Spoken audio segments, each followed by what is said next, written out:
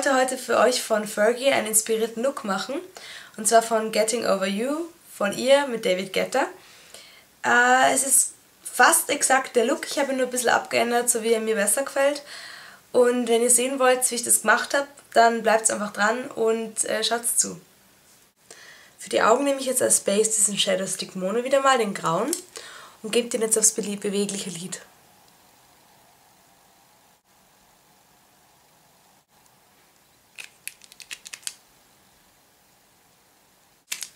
Diesmal trage ich die Base ein bisschen dichter und dicker auf, weil ich wirklich möchte, dass die nachher noch ein bisschen durchschimmert.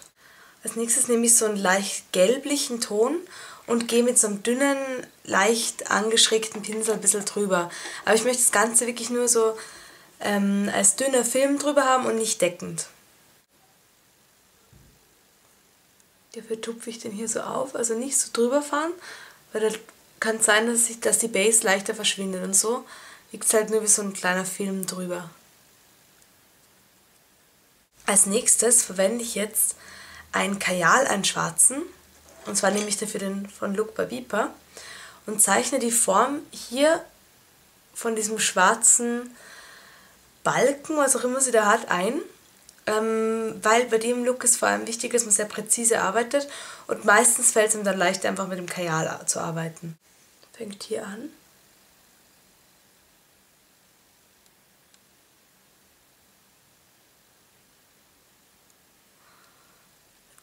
So, circa bis hierher.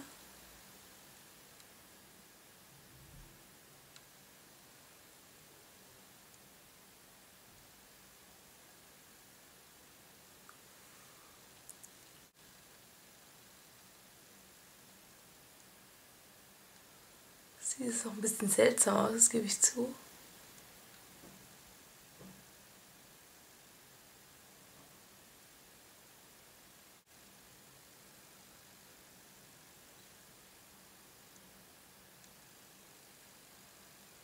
Wichtig dabei ist, dass das Alkyal relativ spitz ist. Mit dem Stumpfen könnt ihr da überhaupt nichts ausrichten.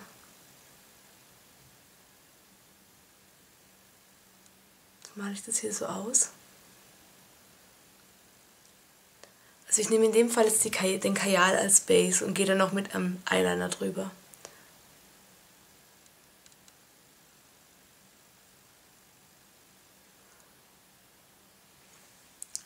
Also das ist so ein total ausgefallener Look. Ihr könntet das natürlich auch nachts über äh, also tragbar schminken. Und zwar könnt ihr das einfach machen, wenn ihr hier in die Lidfalte verstärkt einfach mit dem schwarzen ähm, Lidschatten reingeht und den dann verblendet. Also nicht, dass dann die Ecken so hart ausschauen.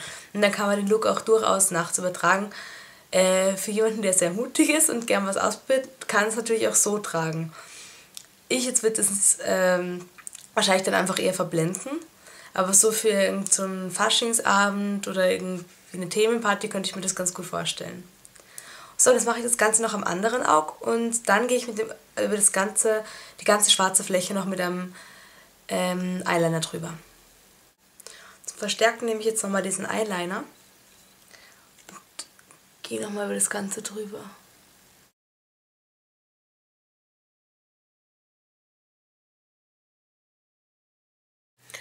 Mein Tipp ist dann noch, geht's mit dem Eyeliner nicht ganz bis hier rein, weil das bewegliche Lid, wenn, ähm, wenn ihr also noch blinzeln wollt, es kann sein, wenn der nämlich eintrocknet, dass das Ganze einfach hart wird und das ist dann einfach unangenehm, wenn ihr dann blinzeln wollt.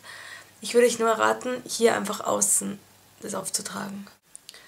So, und um das Auge noch ein bisschen mehr zu shapen, verwende ich jetzt diesen Manhattan Multi-Effekt Eyeshadow, Lidschatten, den hier und mache hier noch ein bisschen so die Form vom Auge deutlicher auf dem beweglichen Lid, beweglichen Lid.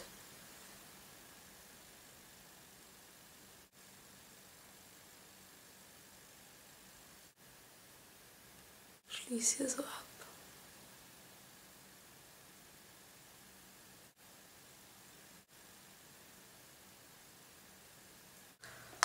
Und jetzt ganz zum Schluss gehe ich nochmal mit diesem hellen Ton hier ist in die Mitte des Auges mit dem Finger.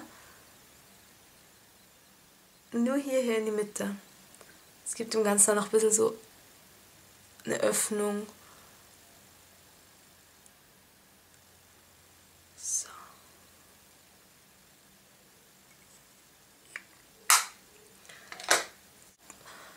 Und soweit ich das bei der Fergie im Video gesehen habe, bleibt, bleibt unter Winter, Wimpernkranz alles unbetont. Ich nehme es nur noch mal ein bisschen Concealer. Bin nämlich ein bisschen dunkel irgendwie. Wenn ihr das Ganze ein bisschen extravaganter haben wollt, könnt ihr natürlich ähm, falsch Wimpern verwenden. Ich mache das jetzt aber nicht, sondern verwende wieder die Sexy Curves von Rim Rimmel und das Bürstchen und tusche die einfach ziemlich dick und zwar oben und unten.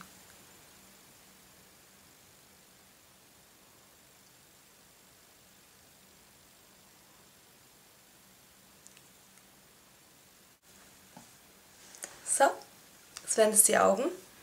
Und für die Lippen, die habe ich zwar schon vorher ein bisschen Concealer abgedeckt, mache das jetzt aber ein bisschen noch, weil die Fergie dafür ziemliche Nude-Lippen hat.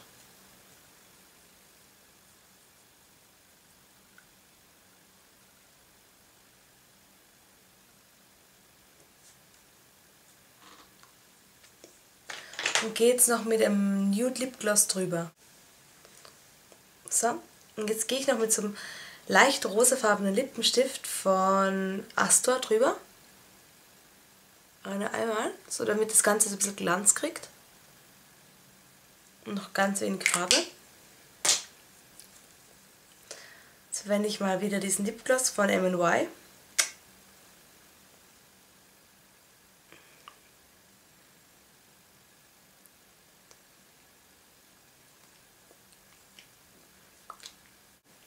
So. Meine Haare da heute nicht so komisch wegstehen würden. Ähm, ja, das war jetzt eigentlich schon der Fergie David Guetta Inspired Look. Äh, wenn ihr irgendwelche Fragen habt, wie immer, schreibt es mir Kommentare. Äh, schreibt uns irgendwas auf unserer Seite. Ihr könnt euch gerne noch mehr Infos über unsere anderen Looks auf unserem Blog äh, euch anschauen. Unser Blog steht auf unserer Seite. Und zwar ist das Picture Art Society WordPress.com, glaube ich sonst steht es unten. Und ja, ich äh, hoffe, wir sehen uns beim nächsten Mal und ihr habt Spaß gehabt. Also dann, ciao!